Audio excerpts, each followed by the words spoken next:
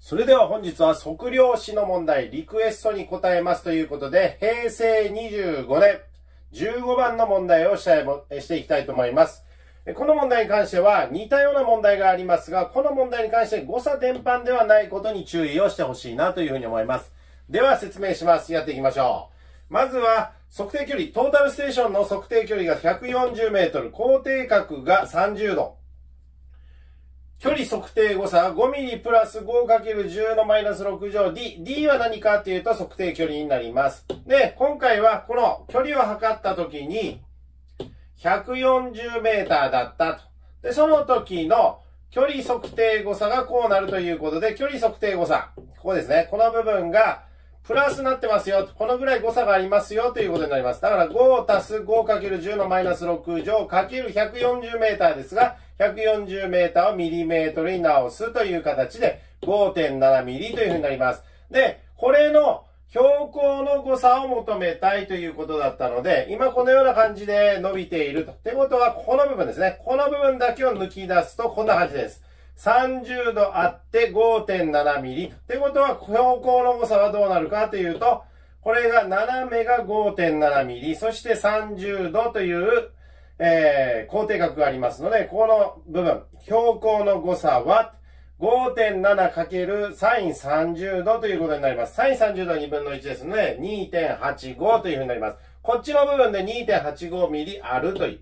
で、そしてもう一つの方は何かというと、反射鏡付きポールが4メーターと、4メーターの水準機の感度というのが20分ということになります。で、これは何かというと、まあ、この部分に反射鏡付きのポール4メーターのを立てたという形に考えてみればいいと思います。その時の水準機の感度、これがね、えー、20分倒れてたと、まあ、感度があると。で、その時の誤差がいくらになるかという、誤差の場合はこの横の部分になります。この点線の部分ね。で、それを考えると、これは何かというと、4メートル。4メートルで、まあ考えてみれば、これは鼓動法というふうに考えればいいのかなというふうに思います。だから、これ4メートルをミリメートルに直します。で、かける2の、2×10 の5乗。これは1ラジアンだね。えー、2×10 の5乗分の20分。20分を秒に直すと 20×60 という形で、ここの誤差が24ミリという風になります。ということで、ここに反射鏡ポールが立ってて、まあ、30度。30度方向に24ミリ誤差がありましたよということで、こういう形になります。で、高低角は30度ですので、ここで言えば、横方向が24ミリなので、縦方向、標高の誤差はどうなるかというと、これタンジェントで表せばいいね。で、24× タンジェント30度というふうになります。そうすると13.86になります。